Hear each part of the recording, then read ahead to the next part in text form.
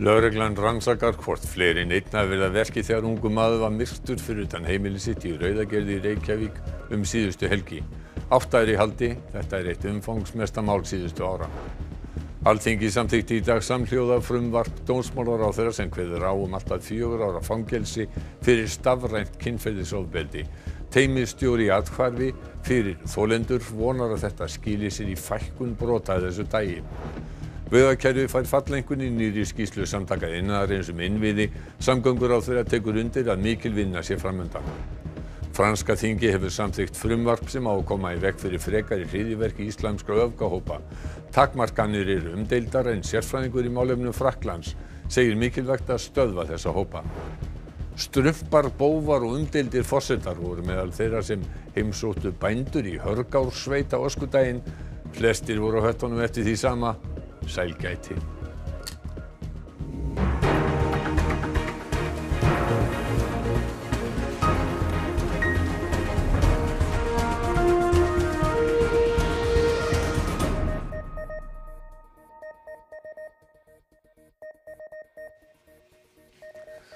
Gott kvöld. Ekki er útilokað að fleiri verið að verki þegar karlmaður var myrtur heima hjá sér í Reykjavík um síðustu helgi.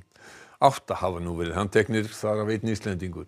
Málið er eitt það stærsta og flóknasta sem lögreglan hefur fengist við undanfarin ár. Armando Betsirai, 33 ára maður frá Albaníu, var skotinn til bana fyrir utan heimilisitt við Rauðagerði í Reykjavík á laugardagsnótt. Á meðan voru ófrísk kona hans og lítið barn þeirra inni í húsinu.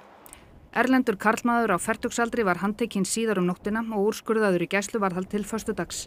Talið er að skambissa hafi verið notuð við morðið.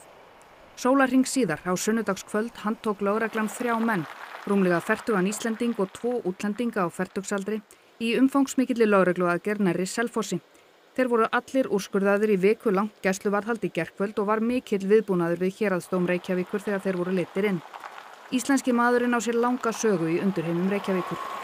Í gerkvöld voru fjórir útlenskir karlmenn til viðbótar handteknir á höfuborgarsvæðinu og stóðu yfirheyslur yfir þeim yfir í dag. Það voru framkvæmdar húsleitir á þremur stöðum. Í heimahúsum eða? Já. Á höfuborgarsvæðinu? Já. Við erum að tala alveg frá minnstu munum og upp bjöguteki. Alls eru því átta menn í haldi. Flestir, þó ekki allir, eru búsettir á Íslandi en allir eru þeir taldir tengjast morðinu á einn eða annan hátt. Það verður farið fram á gæsluvarðhaldi við fleiri mönnum í kvöld. Margeir sér einn flöt rannsóknarinnar miða að því hvort fleiri en einn hafi verið að verki þegar Armando var myrtur. Þetta er umfóksmikil rannsókn og rannsóknum miðar að því að, að, að hérna, skoða þátt hvers og eins. Þannig að við útilókum það ekki neitt.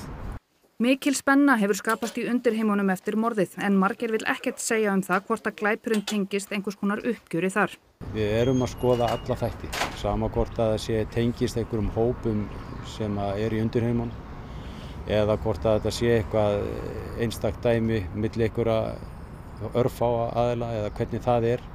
Og við höfum svo sem fengið svona fréttir af því eða frétt að fólk svona óttast hvort að þetta sé einhverju hópar hér á ferðinni sem að, sem að stofnar fólki semst almenningi hættu að ef að lögreglan er með slíka vittnesku þá grípum við til viðandi rástafana þegar það er en það er ekki svo list til þessi tilveldi.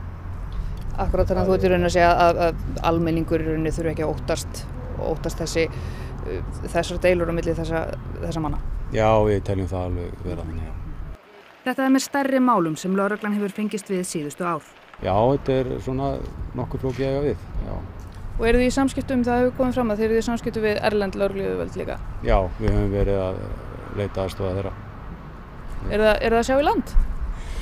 Já, við erum allavega að, þetta miða vel, miða við það sem komið er. Alþingi samþykti í dag samhljóða frumvarp dómsmálaráðherra um kynferðislega fríðhelgi. Forsætisráðherra fagnar þessu framfaramáli sem snúist um að taka á kynferðislegu og kynbundnu ofbeldi í stafrænum heimi. Áslaug Arna Sigurbjörnsdóttir dómsmálaráþurra mælti fyrir frumvarpinu í nóvember og það kom til annarar umræði í byrjun februar en framsögumadur var Þórhildur Sunna Ævarsdóttir sem nú er í fæðingarorlofi. Sankvæmt frumvarpinu býður alltaf fjögur ára fangelsi þeirra sem útbúa, dreifa eða byrta myndefni, texta eða sambarilegt efni af nekt eða kynferðislegri háttsemi annars manns án hans samþykkis. Mikil samstaða var um þetta mál á alþingi í dag. Ég vil fagna þessu framfaramáli og fagna þeirri samstöðu sem er um þetta framfaramál sem snýst um það að taka á kynferðislegu og kynbundnu ofbeldi og áreitni í stafrænum heimi. En þetta sýnir eindreginn vilja Alþingis til að taka á uh, dekkri hliðum tækniþróunar. Saksóknari segir Alþingi senda skýr skilaboð með nýju lögunum um stafrænt kynferðisofbeldi. Teimistjóri í atkvarfi fyrir þólendur ofbeldis vonar að fjögur ára refsirami hafi fælingarmátt. Síðastliðin ár hefur færst mjög í aukana að máltengt stafrænu kynferðisofbeldi rati fyrir domstóla. Ekkert ákvæði í hegningarlögum hefur náð almennilega utanum þessi brot. Því hafa saksóknarar beitt 80 ára gömlu ákvæðu um blíðunarsemisbrot og í einhverjum tilvikum ákvæðum um barnavernd og dreifingu á barnanýðsefni. En nú erum við þá í rauninu komið með sérstakt ákvæði þar sem er bara tekið á þessum brotum sérstaklega. Þar sem það að byrta svona kynferðslegt efni, hvort sem það er myndefni eða getur líka bara verið sko, skrifað texti eða, eða hvað sem er, kynferðslun toga án samþykkis, að það er þá sérstaklega lög refsingu því. Kolbrún segir stafræn kynferðisbrotamál ekki hafa strandað í kerfinu en það felist mikil réttarbót í því að fá skýrari lögjöf. Fyrir okkar skjólstæðinga, þólendur óbyldis, að þá er þetta náttúrulega bara mjög stort réttindamál. Við sjáum þetta oft sem eina byrtingamind af því að hafa verið í óbyldissambandi. Eftir að ofbeldissambandi líkur fari ofbeldismadurinn þá að dreifa kynferðislegu myndum eða áreita þólanda á samfélagsmiðlum. Afleðingarnar fyrir þá sem verða fyrir þessu geta bara verið mjög alvarlegar og slæmar og, og getur bara trubla daglegt líf. Fólk missi stjórn og óttist að hver sem er geti séð kynferðislegt efni tengt sér á netinu. Þeir sem brjóta gegn kynferðislegri fríðhelgi annara geta nú búist við alltaf fjögura ára fangelsi. Þetta hefur vonandi fælingar mátt og vonandi verður til þess að umræðan ekst. Löggefin er að gefa frá sér skýr skilabóð um alvarleika þessari brot og þetta sé sérstök tegund af kynferðsbrotum. Kolbrún segir að alla jafna séu refsingar fyrir svona brot vægari en fjögur ár en að ákveðin skilabóð felist í því að refsiramenn sé þetta hár og alltaf möguleiki á að þennja ramman til fulls séu brotin alvarleg eða ítrekkuð. Frönsk yfirvöld fá auknar heimildi til að loka bænahúsum sem íta undir hatur og ofbeldi samkvæmt lagafrumvarpi sem neðri deild franska þingsins samþykkt í gær. Sérfræðingur í málefnum Frakland segir mikilvægt að stöðva öfgahópa sem hafi sterk ítök í nokkrum hverfum borgar landsins. 250 manns hafa látið lífið að völdum hriðjuverkahórasa íslamskra öfgamanna í Fraklandi frá árinu 2015 sem er meira en í öðrum vestrænum ríkjum. Nýju lögin eiga að sportna gegn þessum öfgahópum. Meðal ákvæða eru auknar heimildir til að loka bænahúsum og banna starfsemi trúarsamtaka ef þau íta undir hattur eða óbeldi. Refsivert verður að hóta ofinberum starfsmanni til að bæta eigin hag og skilirði fyrir heimakenslu barna verða hert. Þá þurfa fyrirtæki að byrta alla styrki yfir 10.000 eurum til að fjármögnunin verði sínileg. Skiptar skoðanir eru um frumarpið. Le projet de loi tend à finalement criminaliser, en tout cas rendre suspect, tout citoyen de confession musulmane en fonction de sa pratique. Ce qui du coup est vraiment une loi d'exception. Je ne crois pas que l'État stigmatise les musulmans. Il y a par la suite des hommes politiques pour des, euh, je dirais, des objectifs euh, électoralistes peuvent euh, utiliser cela pour stigmatiser les musulmans. Þetta lýsir allskins áhyggjum sem að fransk, bara margir meðalfrakka hafa áhyggjur af að samfélagi sem einhvern veginn að liðast í sundur. Ástæðan sé að trúfélög, sérstaklega tengd Íslam, stopni í auknum mæli hópa gegni líðræðiskildum Fraklands. Torfi segir gaggrínendur telja að ekki sé tekið á rót vandans í frumvarpinu. Sumi segja að það væri nær að vinna gegn eh, mismunun, vinna gegn fátækt til að eh, koma í veg fyrir að, að, að eh, þessi fárvanlega og hættulegu viðþorf breyðist út í samfélaginu. Frumvarpið á eftir að fara í gegnum efrideild og stjórnlagadómstól. Torfi býst við að verði samþygt með breytingum þó ekki miklum. Hann bendir á að íslamskir öfgahópar hafi mikil ítök í nokkrum hverfum í borgum Fraklands. og kannski er mjög mikilvægt að koma í veg fyrir að þessi aðstæði sem þeir eru komnir í að þeir misnoti hana og til þess eru þessi lög sett. Rýmingu var aflétt á Seyðisfirði í dag og íbúar sem þurfti að yfirgefa húsin í gær gátu snúið aftur heim. Þá var hættustíi á Seyðisfirði aflýst sem og óvissustíi vegna ofanflóða á Östfjörðum. Ekki er vita til þess að ofanflóð hafi fallið eistra frá því á mánda. Ekki er talið að grípa þurfi til sambærilegrar rýmingar og Seyðisfirði nema úrkom og leysingar verði í nokkuru meiri en í þetta sinn. Spáðir úrkomu litlu og kólnandi veðri á Östurlandi fram á föstudag. Frankvæntarstjóri samtaka ferðarþjónustuna segir að landina hafi verið skellt í lás með hertum aðgerðum á landamærunum. Óvinni mikið hefur verið að gera hjá borgaraþjónustu utanríkisráðuneytisins í dag við að svara fyrirspurnum vegna aðgerðana. Frá með förstu deginu verið farið fram á neikvægt COVID-19 próf fyrir komuna til landsins og má það ekki vera eldra en þryggja sólarhinga gamalt. Íslendingum sem framvísa ekki vottarið verið ekki meinaður aðgangur inn í landið en þurfa að greiða segt. Utaríkistjónustunni hefur borist töluvöru fjöldi fyrirspurna frá Íslendingum erlendis vegna aðgerðana. Bæði til borgarþjónustu utaríkisræðandisins og eins sendiskrifstofun okkur út um uh, eila allan heim og uh, þannig að já, það hefur verið ofinni mikið að gera. Æslandi er sendi í dag skilabóð og tölvupósta á alla farþega sem eiga bókað flug hinga til lands um helgina og þá bendir Sveitna á að heppilegt geti verið að sækja upplýsingar á vefsíður ráðuneytisins eða covid.is. Flestir, ef ekki allir, eiga að komast til síns heima á endan. Frestur til að útvega og fá niðurstöður COVID-19 prófi fyrir þá sem eiga bókað flug til Íslands á förstu daginn rennur út í dag. Skammur fyrirvari með svona skapar alltaf vandamál og uh, það vil bara svo til að það eru svo fáir sem eru á ferðinu núna að vandamálin eru kannski ekki mjög stór. Ísland verður á förstu daginn 14. ríkið í Evrópu sem skildar alla komufarþegi alla sína fram á neikvægt COVID-19 próf.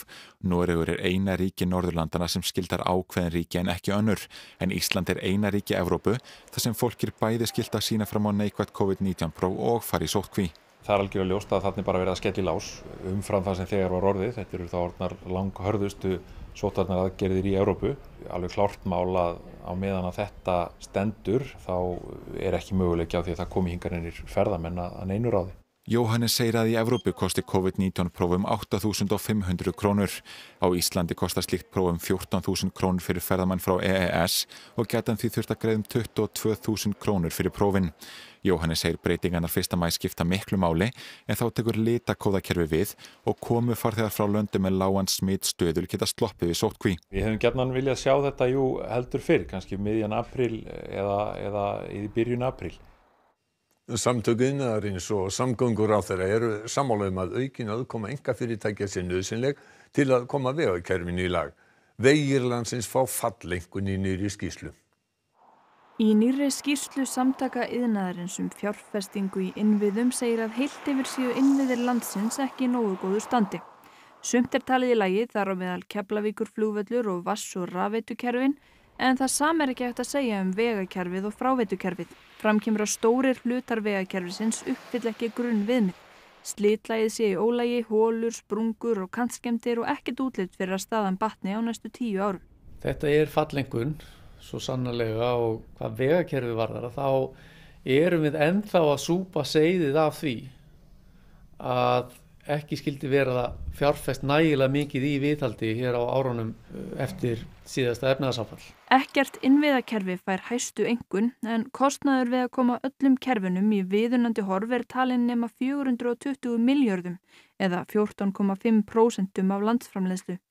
Þar að ver uppsöfnuð viðhaldsstörf vegakerfisins talin nema 160 til 180 miljardum. Er samgöngur á þeirra sammála því að vegakerfið falli á innviðaflóðunum?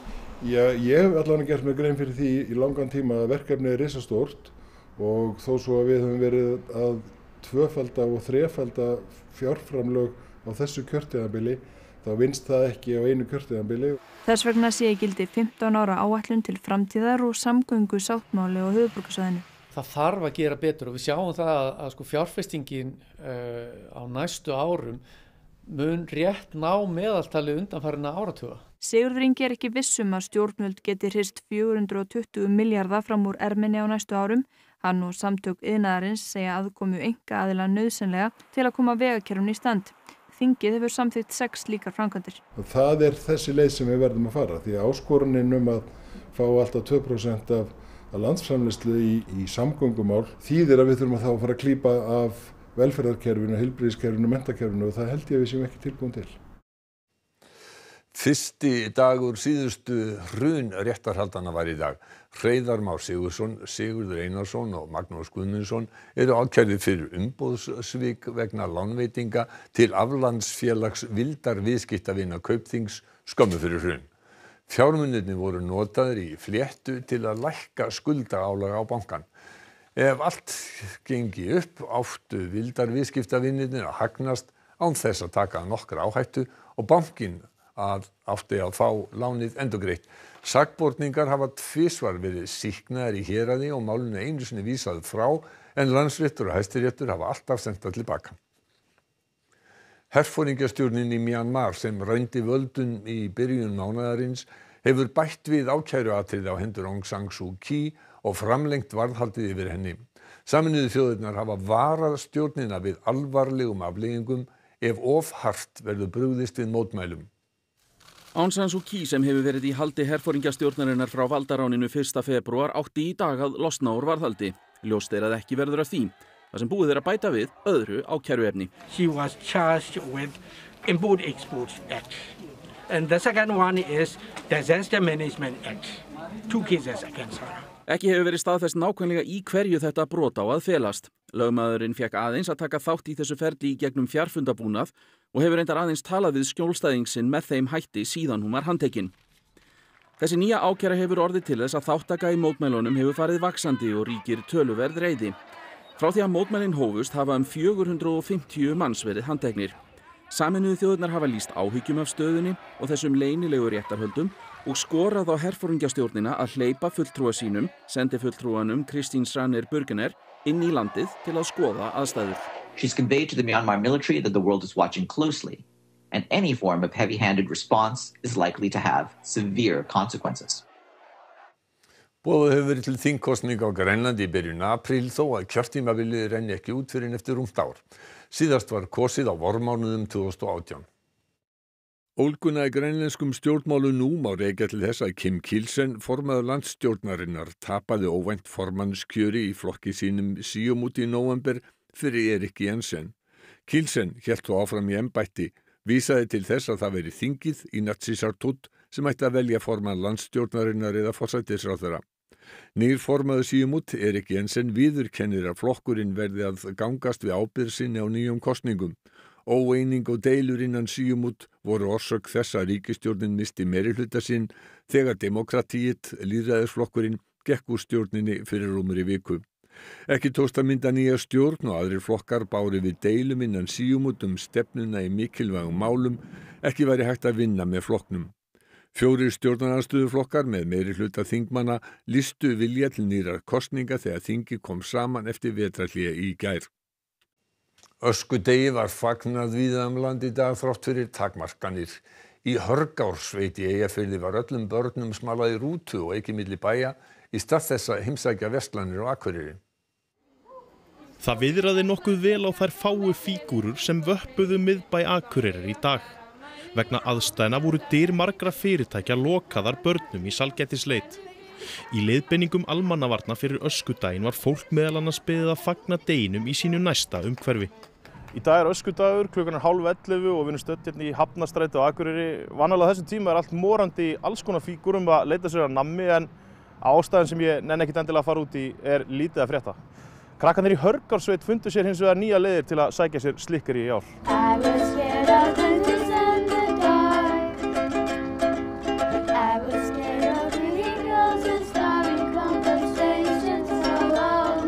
Í ljósi aðstæðana í landinu þá var tekin ákvörðum að krakkarnir sveitinu færu ekki inn á Akureyri að syngja og þá tók fóröldarfélagið sér til í skólanum hérna og setti saman svona frábæran dag fyrir okkur. Og hvernig hafa bændur í sveitinni tekið á mót ykkur? Herði bara ábóðslega vel. Hvernig finnst ykkur að fá svona krakka í heimsókn í dag? Æ, ég veit ekki. Þetta er ótrúlega eitthvað glatað. Við erum svo lítil og astnalega eitthvað. Það syngja ágætlega. Þú veist að veifa í þau, maður verður nú að kunna sig. Ég fer út í búð með gleim og hanska Það eru með þessuðu tónleitana Ekki pakka í tösku til sólarlanda, það má svo sem ekkert ferðast þangað. Og haldið að verði jafnvel bara framhald að þessu næsta árin? Ég, það er góð spurning. Ég ætla að hef fengið beð, beðinir um það, að það verði. Þetta sé svona bara komið til þess að vera. Gerðu svo vel og takk fyrir syngin. Gjörðu svo vel. Takk fyrir syngja. Rétt og takk. Svo vel og takk. Gulú. Í Kastljóðs og eftir ræðir Jóhanna Viti Sjartadóttir við Lilju Alfreðsdóttir mentamálaráþera um stöðu drengja í skólakerfinu en Halla hefur undan fæti hjá þeim jamt og þjött. Einnig verður rætt um kvíða stúlkna og líðan í skólun, fjölmiðla og ríkisúttorpu og auðlýsingamarkaði svo fátt eitt sé nefnt.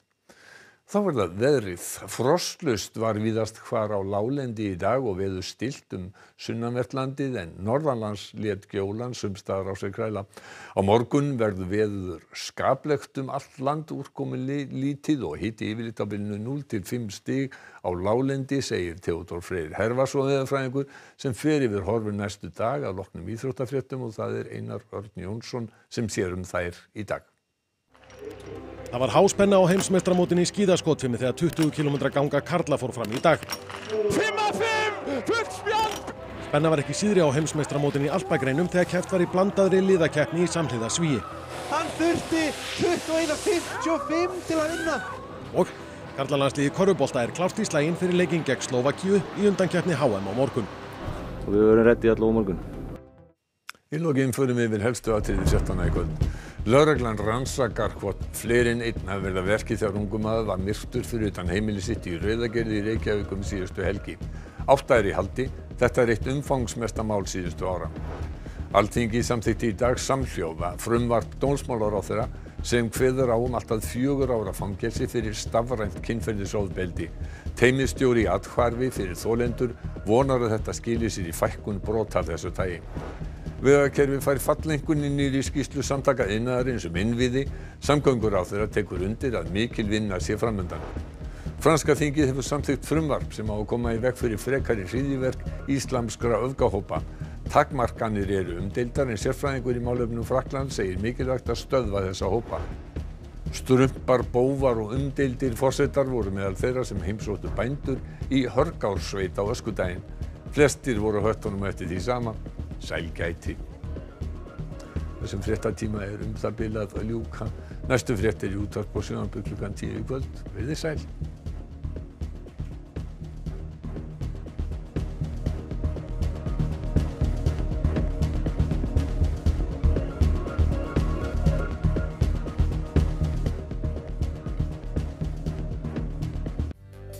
Á RÚF í kvöld. Gott kvöld og velkomin í Kiljuna. Bækur, viðtöl, aðeklisverði staðir, saga okkar og menning í bókmyndaþættunum Kiljunni þar sem Egil Helgason fær til sín gesti.